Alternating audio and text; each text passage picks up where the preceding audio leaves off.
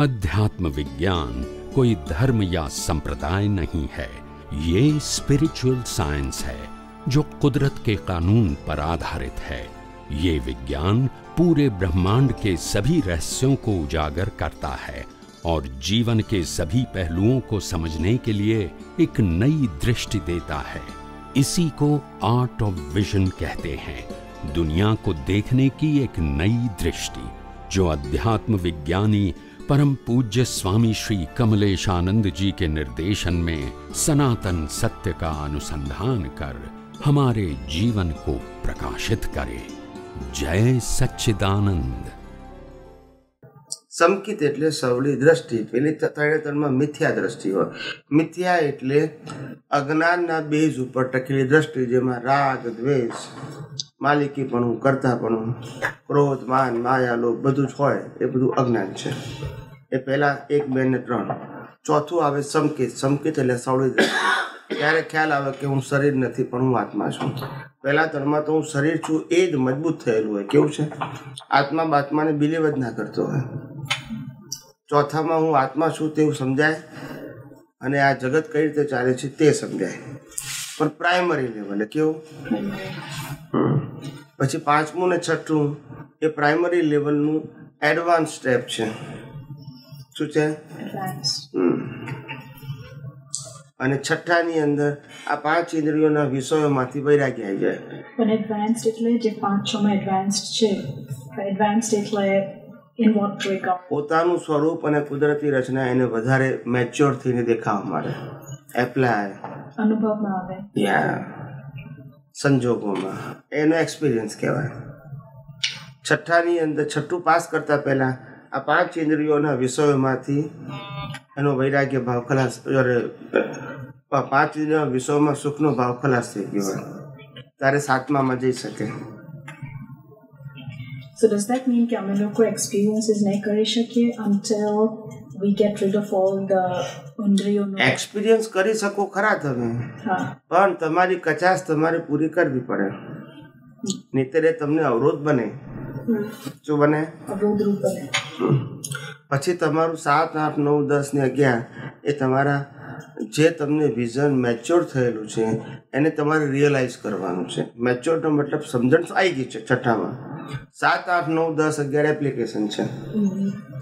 હવે તમે જે મેચ્યોરિટી આવી ગઈ તમારી સમજણમાં, દ્રષ્ટિમાં, એને વાસ્તવિક સંજોગોમાં ઉપયોગ કરવાની as it is that's practical પેલું તમારી સમજણમાં આવ્યું. ને હવે આ પ્રેક્ટિસમાં આવ્યું કહેવાય. શું કહેવાય? જેમ મેં ડૉક્ટરનું ભણી લીધું એટલે મારી સમજણમાં આવી ગયું. હું ઓપરેશન કરું, તારે પ્રેક્ટિસમાં કહેવાય ને? પછી પ્રેક્ટિસમાં આવે પછી હું ફેલ થવું સક્સેસ જવું કરેક્શન કરેક્શન કરેક્શન એમ કરતાં હું પરફેક્ટ થયું ને? પણ પેલું મને બેઝિક નોલેજ મળી ગયું. એવી રીતે. હવે હું પ્રેક્ટિસમાં જઉં છું. પછી પ્રેક્ટિસમાં હું સક્સેસ બી જઉં ને ના બી જઉં. એ મારી એક્ઝામ છે બધી અલગ અલગ. અને પ્રેક્ટિસની અંદર હું અગિયારમાં સુધી પરફેક્ટ પાસ થઈ જાઉં તો પછી હું બારમામાં જતો રહું. તો પછી સેવન થ્રુ ઇલેવન પાંચ લેવલ્સ કેમ છે? અપ્સ એન્ડ ડાઉન્સના લેવલ છે. માણસની પરિણતિ જ્ઞાનમાં એકદમ સારી રહે. પછી એકદમ પડી જાય પછી ઊંચી જાય પછી પડી જાય. ડિપેન્ડ એક સરખી ના રહે. એટલે એક આપણે ડ્યુરિંગ આ બર્થમાં થઈ શકે એવું અપ એન્ડ ડાઉન કે ડિફરન્ટ ડિફરન્ટ ના ના ના આજ બર્થમાં એટલે લાઈક એવું કહી શકાય કે સમ ડેઝ આર લાઈક આપણે એવું લાગે કે ઓ યાર આજે જ્ઞાનમાં સારું હતું. સમ days are like આજે તો ને આપણે અનુભવ કરીએ જ રોજિંદા જીવનમાં. રોજિંદા જીવનમાં અનુભવ કરીએ ને કે કલાકે કલાકે અંદરનું બધું બદલાય. પાંચ મિનિટ મૂળ આવી જાય પાંચ મિનિટ જતો રહે પાંચ પાંચ દરેક સ્વામીજી જન્મો તો દરેકને થાય દરેકને એવું થાય. એક વખત સંકેત થયા પછી તો જન્મો જન્મ પણ આ ડેવલપમેન્ટલ લેવલ્સમાં કામ કરે? શકે એટલે મેં કીધું ને કે સ્પિરિચ્યુઅલ માર્ગ એ ચમત્કારનો માર્ગ નથી સાયન્ટિફિક વિઝનના પરફેક્શનનો માર્ગ છે. એ જેટલું તમારું વિઝન પરફેક્ટ થશે એટલી એક્ઝામ તમારે ઓછી આપવાની રહેશે. જેટલા તમે પરફેક્શનમાં કાચા પડશો એટલી એક્ઝામ વધારે આપવી પડશે. આ કુદરતનો કાનૂન છે એમાં કોઈ વ્યક્તિ એક્ઝામ લેતી નથી. કુદરત એ એક જ કહે છે કે જન્મથી મોત સુધી મન વચન કાયા અને મન વચન કાયાના બધા સંજોગો જીવ માત્રને હું આપું છું.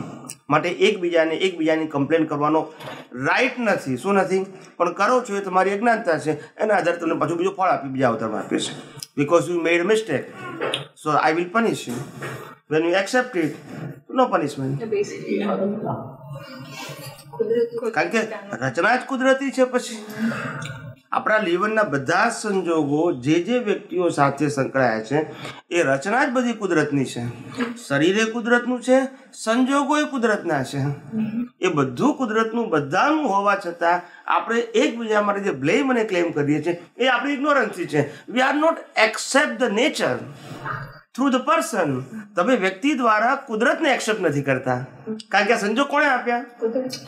આ વ્યક્તિ કોણે બનાવી? કુદરતે. વ્યક્તિને સંજોગ કોણે આપ્યા? હવે તમે વ્યક્તિ માટે કમ્પ્લેન કરો છો એટલે ઇનડાયરેક્ટલી કુદરતની કમ્પ્લેન કરો છો. So will nature nature will punish you ખ્યાલ આવ્યો છે? નહીં તો કુદરતને શું લેવા દેવા.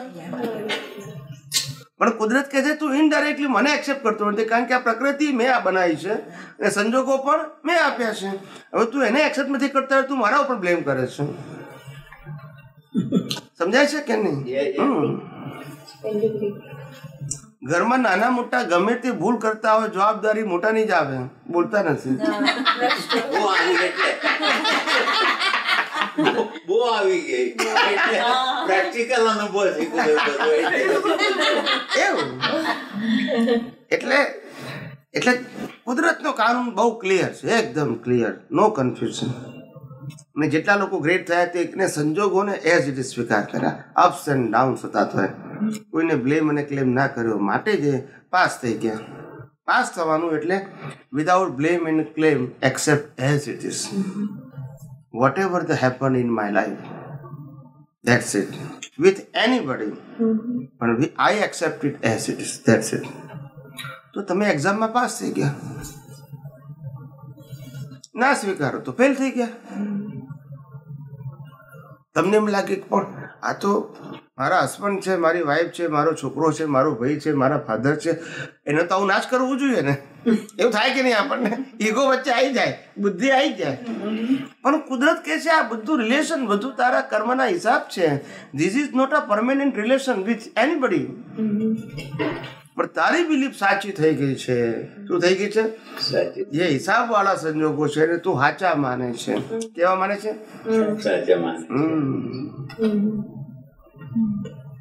કવિરાજે લખ્યું છે ને પ્રતિબિંબ ને માને સાચું. અને ચકલી મારે પેલા મિરર ઉપર બેઠી હોય ને ચકલી તો આમ ચાંચ મારે. મારા જેવી કેમ અંદર છે? એટલે પણ તારું જ પ્રતિબિંબ છે. પણ એ ખબર પડતી પ્રતિબિંબ પોતાનું જ છે.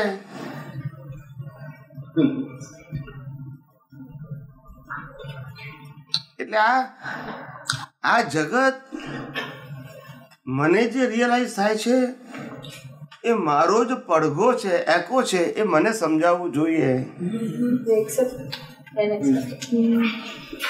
મારો જ પડઘો છે, મારું પ્રતિબિંબ છે. શું છે?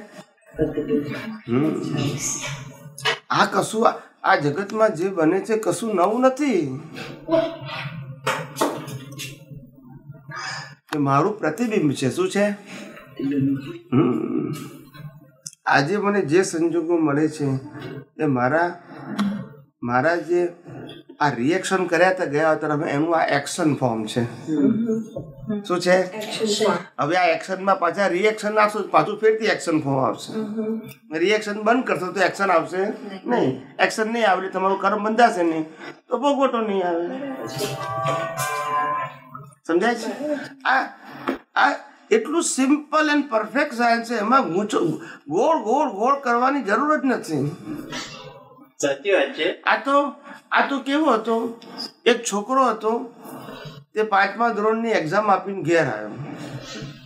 એના પપ્પા હું શેઠિયા હતા શેઠ હતા ગામના. તે છોકરાને પૂછ્યું કે તારું રિઝલ્ટ કેવું ગયું બેટા? તો કે પપ્પા સારું ગયું નથી. અને પપ્પા કે પણ તું પાસ તો થઈશ ને. તો છોકરો કહે છે સો માંથી મણ પચીસ આવશે. કેટલા? પચીસ. બાપાને લાગ્યું કે આ તો ફેલ થવાનું છે. એટલે મારી આબરૂ બગાડશે. શું છે? થાય ને? ગામના શેઠ હોય છોકરો ફેલ થાય તો? એટલે પછી એના છોકરાએ, છોકરાના ફાધરે ટીચરને બોલાયા. કે ભાઈ આ છોકરાનું રિઝલ્ટ ક્યારે છે? તો એક મહિના પછી કહે છે. એટલે પછી એના ફાધરે કીધું ટીચરને કે ભાઈ આ એક મહિનામાં આ છોકરાને સોમાંથી સો માર્ક આવે ભણાવી દો. ફી તમે જે કહો હું આપી દઈશ. એ ટીચર તો ભણાવે કે ફી આપતા હોય તેનું તો કામ જ એ છે ને. એટલે ટીચરે ભણાવી નાખ્યું. સોમાંથી સો માર્કે આવ્યું પછી એ તો ફી લઈને ઘેર જતા રહ્યા. છોકરો રિઝલ્ટ લેવા ગયો. કેટલા માર્ક આવે? કેમ? પરીક્ષા તો આપી દીધી. હવે સમજી ગયા કેવું સમજાય છે આગળ? પરીક્ષા તો આપી આ દીધી એટલે આ આ- આ આખો અવતાર એ ગયા આવતાની પરીક્ષાનું ફળ છે એને આપણે આજે બદલવા માંગીએ છીએ. યસ કે નો? બદલાય? સ્વામીજી સ્પીચ અહીંયા ત્યાં કેમ નથી સમજાતું? હસબન્ડ વાઈફ ને બદલવા પ્રયત્ન કરે વાઈફ હસબન્ડ ને છોકરા મા બાપ ને મા બાપ છોકરા ને સાસુ વહુ ને વહુ સાસુ ને આપણે ખબર જ ના પડે કોણ કોને બદલે છે. એના કરતા દ્રષ્ટિ બદલીએ તો પાર આવે. એટલે આ આ ખાલી સમજવાની હું વાત કરું છું. કેવું કેવું કેવું? માણસની દ્રષ્ટિ કેવી છે? એટલે પાછી એ છોકરાની મમ્મી તો ઓર હોશિયાર હતી. એની છોકરાની મમ્મી કે કે બેટા, પરીક્ષામાં તારે બરાબર લખાયું નથી ચિંતા ના કહીશ કે તારું પ્રશ્નપત્ર ક્યાં છે? એટલે કે છે આ રહ્યું મમ્મી. તો એક કામ કર પેલા ભગવાનનો ફોટો છે ને એ નીચે મૂકી દે. રોજ અગરબત્તી દીવો કરજે એક એક માર્ક વધશે. વધે ને? વધે ને? આવી રીતે સાહેબ દુનિયા ચાલે છે શું ચાલે? સ્વામીજી આ પચીસ માર્ક લખાવીને જ આવેલું આ ગયા જન્મનું કે? લખાયેલું જ હોય ને? આ તો માણસો કેવા કેવા ઉપાય કરે છે પોતાના વાસ્તવિકતાને બદલવા માટે. ફેલ જાય છે પણ પ્રયત્ન કરે છે. એવી રીતે છે. પણ કુદરત તો એમ જ કહે છે કે તારું જે રિઝલ્ટ લઈને આવ્યો છું તે જ પ્રમાણે આવશે. એમાં વધઘટ થવાનું નથી. ખ્યાલ આવી ગયો? રામ ગમે એટલી શનિની મંગળની ગુરુની વીટી પહેરે તો વનમાં જવું પડે જવું પડે ને જવું પડે. સમજાય છે? કોઈનું ચાલે? કુદરતનું કાનૂન પછી કોનું ચાલે? કુદરતથી બિયોન્ડ જઈ શકાય? આ જુઓ કોઈ પણ કન્ટ્રી મોટી ડેવલપ થઈ હોય ને કુદરત એક થાપટ મારે ધરતી અમને તો શું થાય? હતું ના તો થઈ જાય કે નહીં? તમને વિકાસ કરતા પચાસ વર્ષ થઈ ગયા અને વિનાશ કરતા કેટલી વાર લાગે. એટલે કુદરત આગળ કોઈનું ચાલે? એટલે કીધું કે આ આ જગતમાં કુદરત સર્વોપરી છે. કુદરત. આ ફિઝિકલ જગતમાં કુદરત સર્વોપરી છે? અને આધ્યાત્મના માર્ગમાં આત્મા સર્વોપરી છે. એનાથી કોઈ મોટું નથી. અને બાહ્ય જગતમાં આ જે પાંચ ઇન્દ્રિયોથી અનુભવીએ છે એ જગતમાં સર્વોપરી કોણ છે? કુદરત. એનાથી મોટું કોઈ છે નહીં. એના આના કંટ્રોલની બહાર કોઈ જ ના હોય. હોઈ શકે? ના હોઈ શકે. શું? એક સ્પીચને લઈને જાણે કે બુદ્ધિને શાંતિ અનુભવાય જેમ કે કોઈની વાણી સારી ના હોય તો આપણે કહી શકીએ કે પરચે પરાદેચના પણ એફેક્ટ નથી થતું પણ જે બીજી બાજુનું છે કોઈ એવી ઇમ્પ્રેસિવ વાતો કરે in regards to let even say જ્ઞાન કે આપણે એટલું બધું એમાંથી આપણને પ્રાપ્ત થતું હોય we are learning from that વાણી તો હવે એવું સમજાય છે કે એ તો ડિસ્ચાર્જ છે જ. પણ પોતાના અનુભવથી આપણા ઇન્ડિવિજ્યુઅલ વ્યક્તિત્વ એવું લાગે કે sometimes when we speak we are listening to ourselves whether it is good or bad અને એ ફીડબેક આપણને પોતાને મળે છે ને પછી આપણે અંદર કરેક્શન કરીએ છીએ કે આવું બોલાતું નથી કે આ બોલાવવું જોઈએ રાઈટ તો જે સત્સંગની જેવી વાણી સરસ નીકળતી હોય કે આપણે એકદમ પ્રભાવિત થઈ જઈને આપણને ગમે છે, તો એવી રીતે એ વ્યક્તિને ફીડબેક નહીં મળતું હોય કે આ બરાબર છે, બરાબર નથી, તો કેમ અમે આવા પ્રભાવિત થઈ જઈએ છીએ વાણીથી? Like how can how should one listen to even satsang without getting impressed એ તો એ એ માણસ પાસે કોમન મેન પાસે ઓબ્ઝર્વેશનનો પાવર નથી. એ પ્રભાવિત થઈ જાય છે. સામાન્ય વ્યક્તિ પાસે નથી. પ્રભાવિત થઈ જાય છે. કોઈ પણ નવી અવસ્થા આવે ને પછી એને ગમતી હોય તો પ્રભાવિત થઈ જાય. કોઈ પણ નવી અવસ્થા. પણ બાકીને ગમતી હોય તો પ્રભાવિત થઈ જાય એ અવસ્થાથી. બરે તો. એટલે તો કીધું આખી લાઈફ ઓબ્ઝર્વર રહો. શું કીધું? ગુજરાતીમાં કહેવાય બે શબ્દો કહેવાય.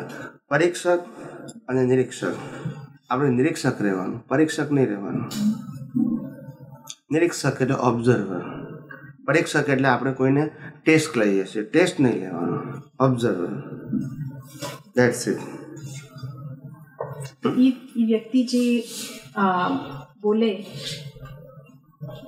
ઇવન અગર સત્સંગની વાતો હોય તો ઇટ ઇઝ નોટ નેસેસરી કે એ એમને પોઝિટિવલી ઇમ્પેક્ટ કરી શકે એમને કરે કે ના કરે that is not our subject આપણને કરે છે I have to correct my mistake that's it એમને કરે છે કે નહીં? આપણો સબ્જેક્ટ ક્યાં છે? Because we will never know and we don't need એટલે આપણો પણ સબ્જેક્ટ જ નથી ને આપણો? Yeah that's not our business. Yeah. રામને માટે એ સબ્જેક્ટ નથી કે રાવણ સુધરે કે ના સુધરે. કોઈ પણ પ્રકારનું development vision application is a individual matter સામેવાળાને આધારે હું સુધરું એવું થોડું છે કે? મને આ સંજોગ ભેગા થયા છે એ મારા હિસાબથી ભેગા થયા.